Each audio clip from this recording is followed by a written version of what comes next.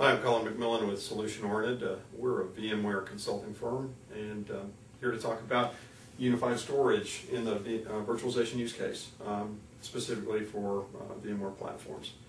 Uh, so the genesis of the uh, virtualization use case started with uh, a single machine and direct attached storage. And while a single machine could in increase uh, CPU utilization, uh, consolidate workloads to improve manageability, it introduced on its way a many to one single point of failure uh, problem.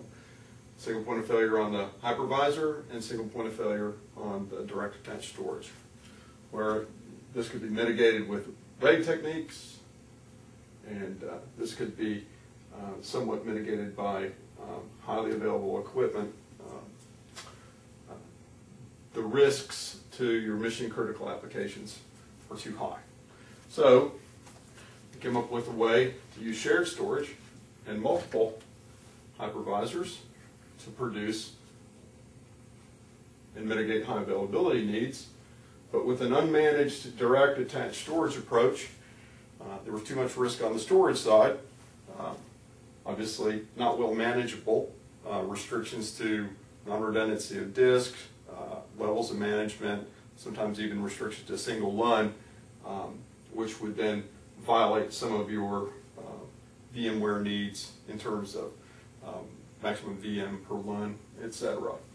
So introducing the basic level uh, of uh, redundant storage, uh, the best practice initially was fiber channel framework with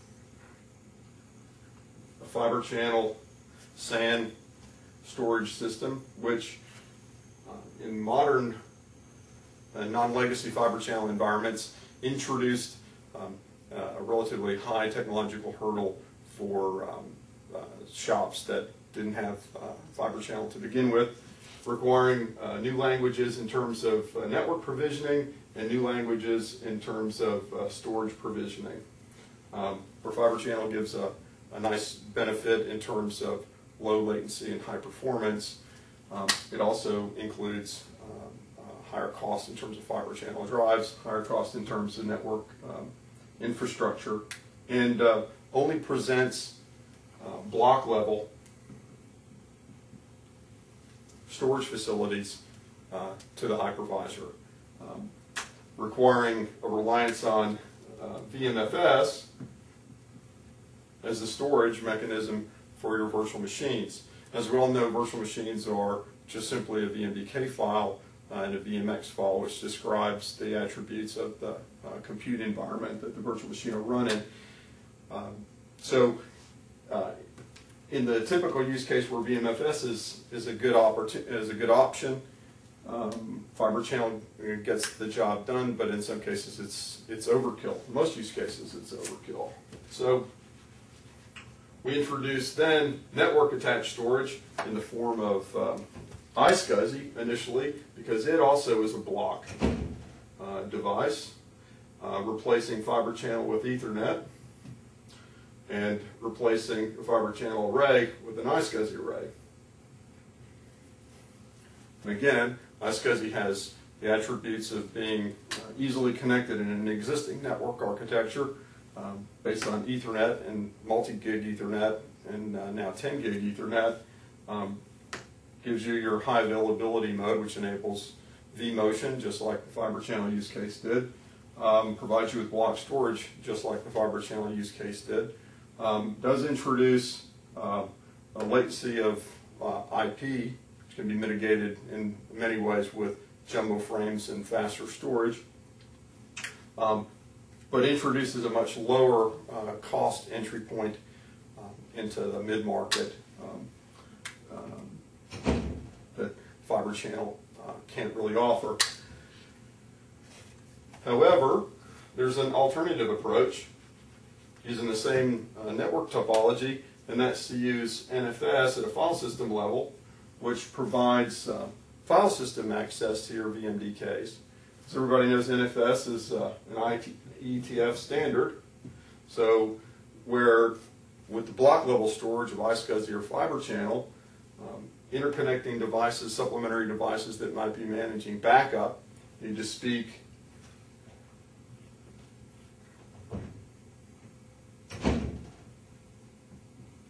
need to speak VMFS. In the old um, um, paradigm with the block level storage, now they can speak NFS and have access to those VMDKs without using um, VMware's VCB or any third-party tool. The unified storage approach gives you the best of both worlds. The ability to offer file level and block level access to your storage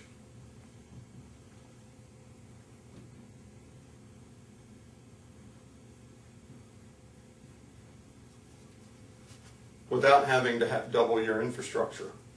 Um, and while that can be done in Ethernet and fiber channel, it's most commonly done in an Ethernet only uh, topology. Where an NexentaStor comes in is offering you the block level with iSCSI or fiber channel and file level with NFS and alternately, ability to access those NFS through um, your outside backup systems potentially, through CIFS, which most of your um, Windows operating systems speak natively. What's unique about Nexenta's approach to unified storage is that its heart is ZFS, which uh, in, includes a uh, significant amount of data integrity functions um, that uh, continuously not only um, check some data as it's written to disk, but continuously uh, poll uh, your uh, storage pools for integrity checks on an ongoing basis throughout the life cycle of the data on the drive. Um, ZFS also um, offers some convenient ways of uh, uh, backing up and uh, uh, replicating data um, within uh, an appliance between storage pools as well as between multiple appliances um, across local area networks or wide area networks using uh, local area network protocols as well as wide, area, wide area network protocols like SSH to secure your, your replication. With the with ZFS ease of use in uh, replication uh, for both block and file level um, volumes in a VMware uh, environment, um, uh, NexentaStor's introduced uh, their VM data center product, VMDC, which gives uh, an administrator the ability to manage, control, clone, and um, template virtual machines from the storage system itself um, alleviating some of the, uh, the um, two-party provisioning methodology associated with vCenter provisioning and then storage provisioning and then vCenter provisioning again, um, reducing administrative uh, overhead, um, especially in um, operations where templates and cloning are important. Um, ZFS is uh, virtually unlimited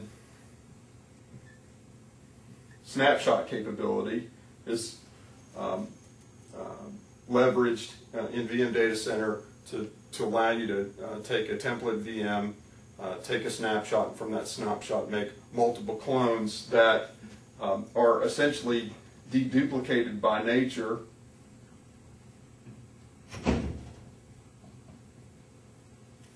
in that only the difference between the original VM and the, uh, the clone um, uh, shows up in terms of the storage footprint. Okay, so now that we've uncovered some of the um, propositions that ZFS and NexentaStor have in a virtualization use case, um, it's important to uh, point out that ZFS is based, ZFS and NexentaStor are based on um, open storage platform, um, relatively hardware agnostic, and therefore um, with don't rely on proprietary hardware and um, offers a uh, much lower cost a deployment platform for your virtualized storage. And once again, I'm Collin Macmillan with Solution Oriented, and thanks for your time.